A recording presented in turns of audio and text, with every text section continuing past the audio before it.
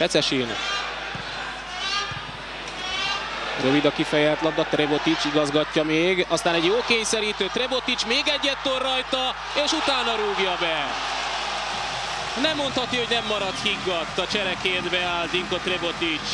Ez az első gólja a magyar élvonalban.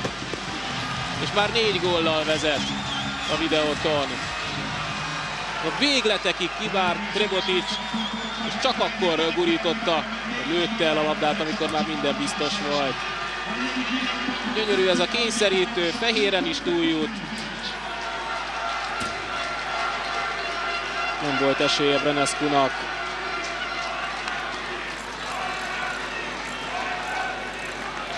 Tökéletes ütemben tolta meg Trebotic a labdát.